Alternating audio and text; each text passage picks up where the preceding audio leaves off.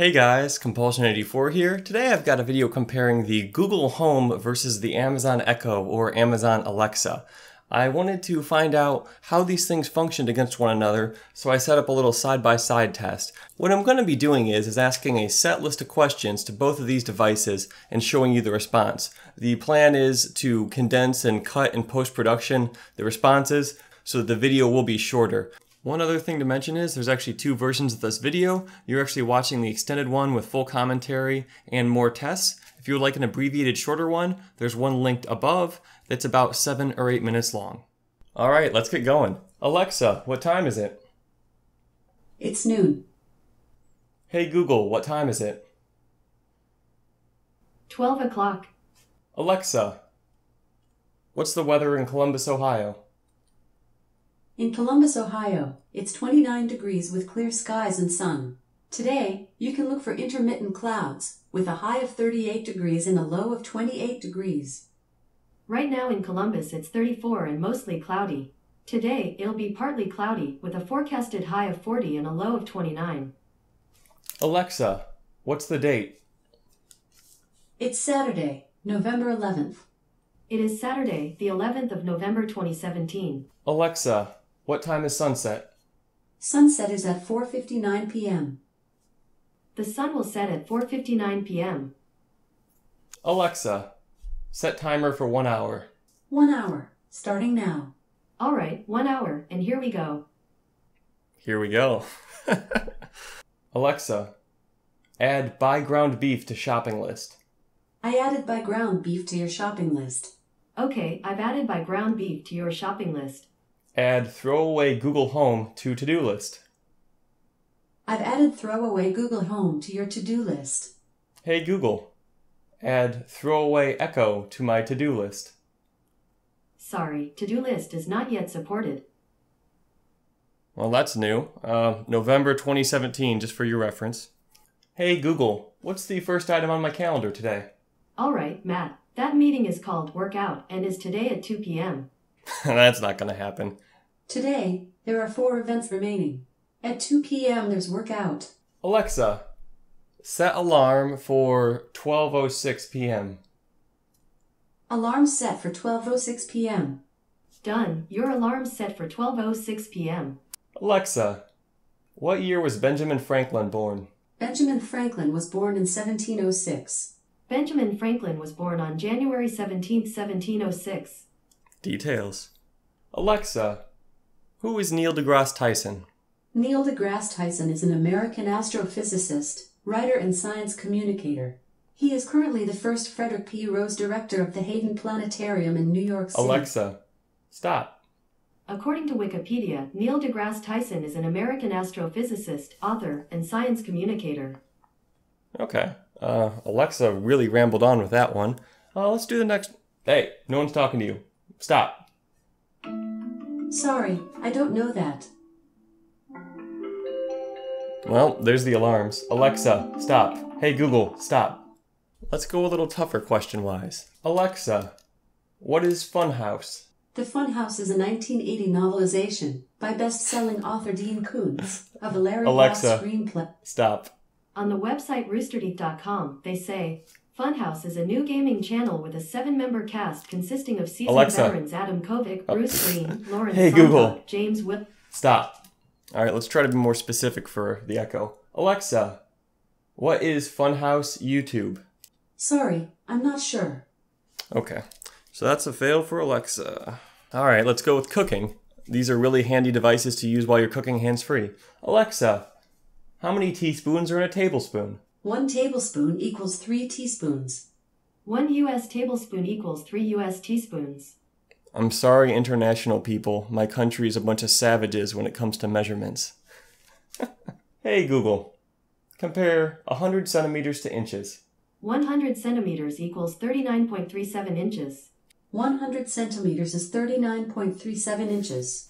Let's do some math. Alexa, convert 1000 psi to megapascals. 1,000 pounds per inch 2 is 7 megapascals. 1,000 pounds force per square inch equals 6.895 megapascals. Ooh, more sig figs. I didn't think this part through. I need to control a smart device in the other room. Hold on. Alexa, turn on lamp. Lamp isn't responding. Hey Google, turn on lamp. You got it. Turning on the lamp. Hey Google, turn off lamp. Sure, turning the lamp off. So that's interesting. It looks like the Google Home is controlling the lamp and not giving up priority to the Alexa devices. Um, I can say it always works because I normally use an Alexa to turn on and off that lamp. But if you have them two together on the same devices, they may not play nice because right now I can only operate the lamp with the home. All right, more questions. Hey Google, what is anime? Anime, a style of Japanese film and television animation, typically aimed at adults as well Stop. as children. Alexa, what is anime? Anime has several meanings. As a noun, 1. A hard copal derived from an African tree. 2. Any of various resins or oleoresins. 3.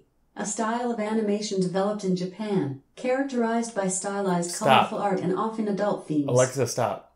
So Alexa eventually got there. It just took a little bit more of a rambling, incoherent response.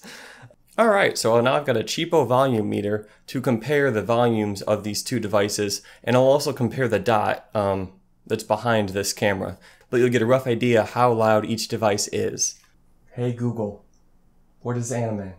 Anime, a style of Japanese All right, 94 and a half for the home. Alexa, what time is it? It's 12:20 p.m. Ugh, that was friggin' loud. 98.6 in a closed room. Variety of seasonings including chili powder, scallions, garlic. My stupid little meter doesn't accurately capture volume differences between devices, and it may not work at all. You're just gonna have to trust me. The Generation 1 Echo is super freaking loud. Um, the full size Generation 1 Google Home, also loud. Second generation Amazon Alexa Dot is not that loud. I would, I don't want to say half, but maybe 60% the volume. Hey Google, play music. All right, music on Google Play Music. Here you go. Here's a station you might like. Elton John from Amazon Music. All right, sorry, I'm going to prune out what I heard and what you heard. I really don't feel like getting several copyright strikes. They both play music just fine. They both integrate with things like Pandora. They can do things like skip track, play for fast forward, such and such. They both work really well for that. All right, back to science. Alexa, how heavy is tungsten? Tungsten's atomic weight is 183.84. The atomic mass of tungsten is about 183.84 atomic mass units. All right, let's go uh, all Wolfram Alpha on this thing. Hey Google, how much volume is one pound of gold? Sorry, I'm not sure how to help with that, but my team's helping me learn. Sorry, I don't know that one. All right, double failure on that one. Uh, spelling. Hey Google, how to spell onomatopoeia? Onomatopoeia is spelled O N O M A T O P O E I A. Alexa, how to spell onomatopoeia? Onomatopoeia is spelled O N O M A T O P O E I A. Board games. Alexa, what is Settlers of Catan? Settlers of Catan, the multiplayer board game designed by According to Wikipedia, the settlers of Catan, sometimes shortened to Catan or settlers, Alexa, how to make a mojito? Okay, for mojito. I recommend a mojito, which takes two minutes to make. You can ask for more information or for more recipes, say next. More information. It has 3.7 stars with 54 reviews and uses ingredients like half lime, juiced, one sprig fresh mint, crushed, half cup crushed ice. Do you want me to tell you the ingredients, send this to your phone, or hear the next? Alexa, stop. Hey Google, Okay, I've got a recipe called the Real Mojito from All Recipes. This recipe serves one and takes about 10 minutes to make. Does that sound good? sure. Great, let's get started. Would you like to prepare the ingredients or skip to the instructions? Ingredients. There are six ingredients. I'll read them one by one. Let me know when you're ready for the next ingredient. The first ingredient is 10 fresh mint leaves. Google. Hey Google. Next. The second ingredient is one half lime cut into four wedges. Hey Google. Stop.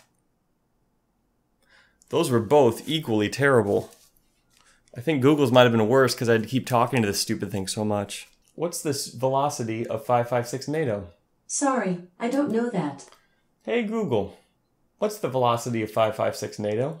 Here is some information from the web that might possibly help. Here's a summary from the website en.wikipedia.org. Do not have enough muzzle velocity energy to cause extreme damage that Hey, occurs Google. only at terminal. All right, what's interesting with that one is neither of them actually knew the answer, but the Google uh, device started pulling from Wikipedia or the internet. It pulled kind of, obs- I don't want to say obscure, but middle of the article, not super helpful, relevant data, but it at least tried, so I guess that's better.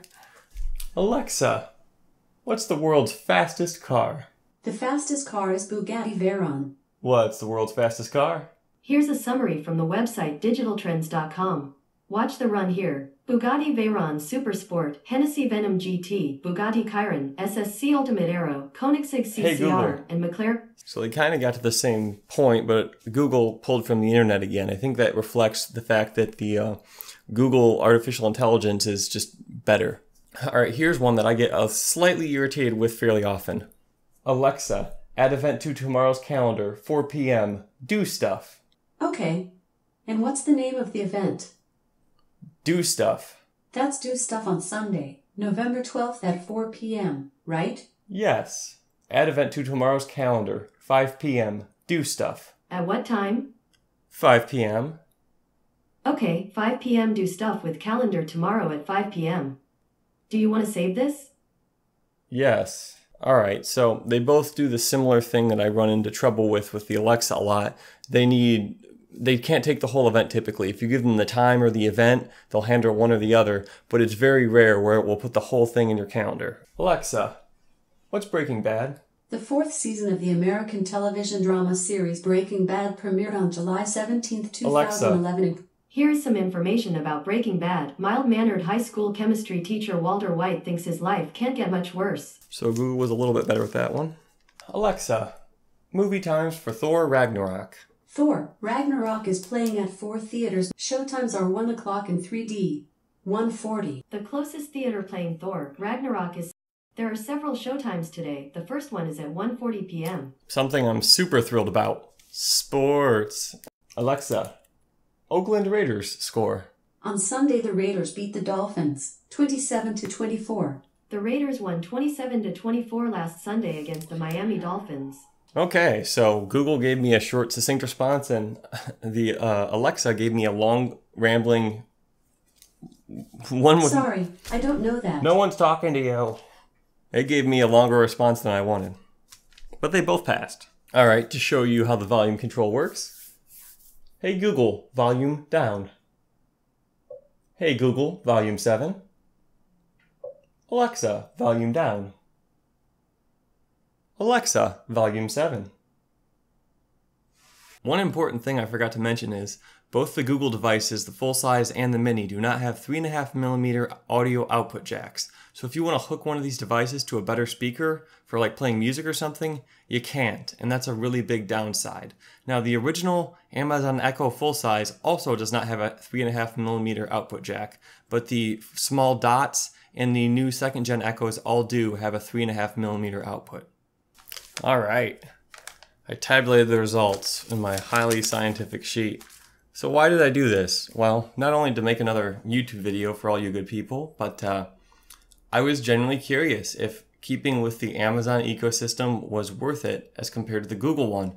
I've got a full-size Alexa and a Echo Dot, and I was just curious: is it worthwhile to uh, sell it on sell it all on Craigslist and to move over to Google's ecosystem? My short answer is no. Um, I've this is the first time I've really compared each personally in depth, and they both function very similarly. The Google device is a little bit better in some of the I'm going to say random question type testing, but as far as all the smart home actions, everyday actions, things like temperatures, to-do lists, uh, weather forecasts, they function very similarly. One might have a little bit more of an expanded or succinct response, but they both essentially give you the same answers. There are very few questions that I asked it where one device didn't give some sort of response and the other one did. having all these voice commands is really handy and really neat, especially if you buy smart devices. Um, whether you go with the Alexa or the Google Home uh, Mini or the Dot, they're both about $50. I'm sure they'll both be on sale on Black Friday. Uh, I've got links to both of those, or I should say to everything in the description below. Um, these devices are really neat. If you don't have one, I would say if unless you're really tied into one e one ecosystem, get the one that's either cheaper or maybe the one that you find more aesthetically pleasing. They're both really good devices. Um, I can say the Alexa speaker is pretty good for what it is. It's not going to compete with the Sonos, but it is a good device. So the other closing thoughts that I jotted down, setup, um, that was a tie. They were both five or 10 minutes to get it going. Home control, tie, they both performed the same functions for the same devices, um, maybe slightly different syntax, but they both did the same things. Uh, as far as random questions, I'll give Google a slight leg up, but that was, it wasn't enough that I was just like, oh, this is awesome. I mean, maybe if you want to sit here and ask stupid questions to a robot all day, then go with the Google one, but it wasn't enough for me to think anything about it. Um, comparing the full-size home to the full-size Echo, the Echo was significantly louder. 10 was to the point where it was unpleasant in the small room. And when it comes to responses, they both responded almost immediately. Um, with some of the harder requests, I could see both of them queuing and going to, uh, I would say, I guess, Wikipedia mode, where it was checking the external internet versus checking its, uh, I would say, its cache of data. I'm not exactly sure how to describe it. So as I wrap this up with about an hour's worth of testing, I would say they're both great devices. Go with whichever one you're already embedded in the ecosystem with, or whichever's cheaper, or frankly, whichever one you think is the prettiest. I was fully considering selling my Amazon devices on Craigslist and buying Google devices on Black Friday when they'll be cheaper, but honestly, I don't see a need. Anyways, if you haven't seen me before, I'm Compulsion84, and I like to make videos about guns, gaming, and gadgets. Subscribe to my channel for more great videos, and I hope I see you next time.